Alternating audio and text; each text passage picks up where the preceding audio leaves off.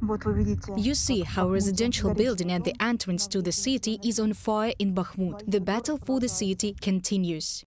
Ukrainian servicemen are fighting for every house, for every street. They also hold the defense near the Bakhmutka river. They do not allow the enemy to cross it. Загострюється, але стабільно. Вагнера біжать. the situation is getting worse, but it is stable. The Wagner PMC mercenaries are coming in in droves. They are being killed. Somewhere, yes. In some areas, they manage to take the advantage with manpower. They make us exhausted. The first party runs in, gets killed. The second runs in after it. Once they stormed our positions on the Zhiguli cars. They were just driving in the Zhiguli. A shell from a handheld anti-tank grenade launcher flew into one of the cars. The mercenaries got out of it and continued their offensive. Vadim was seriously wounded in the battles near Izium. He returned to service already in Bakhmut. He says he couldn't leave his friends. The Russians wanted to take Barvinkove. They attacked with companies, tanks, tank companies, without infantry. They turned around and advanced with tanks in the field. They were destroying the villages, and we were in the village of Novodmitrivka. They shot villages with two Tochka-U with no purpose. It was difficult then. I got my leg broken. It was a shrapnel wound. I was treated in Sweden then. There I healed and returned back, returned to service. The film crew of the UATV English was allowed to show the work of the crew of an infantry fighting vehicle.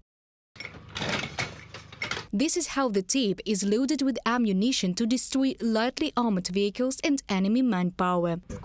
How long does it take to change the entire tape? To fully charge the tape? Well, about 40 minutes. This is so as to bring it into the tower, to make sure the car is ready to go.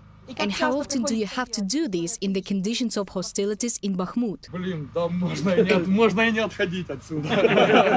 we cannot even leave this place. Happens that we do this all day long. It depends on the intensity of the Russian attack.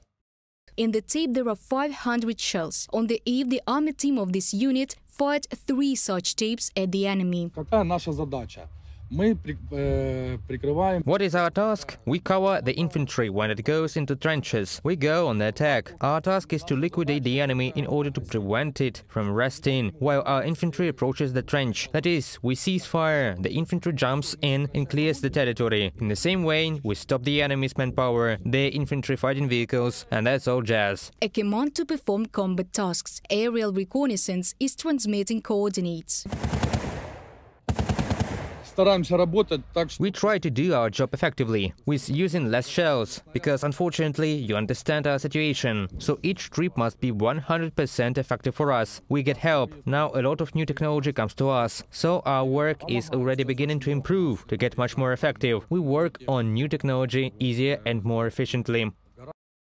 In this unit, they are still fighting on an old infantry fighting vehicle, still of the Soviet type, the military dream of the American M2 Bradley. They say that with such a machine, their combat capability will increase significantly. The military are confident that they will definitely liberate not only Bakhmut, but also all temporarily occupied Ukrainian territories from Russian invaders. Reported by Diana Kolesnik, Anastasia Volkova, Artem Voronin, UATV News.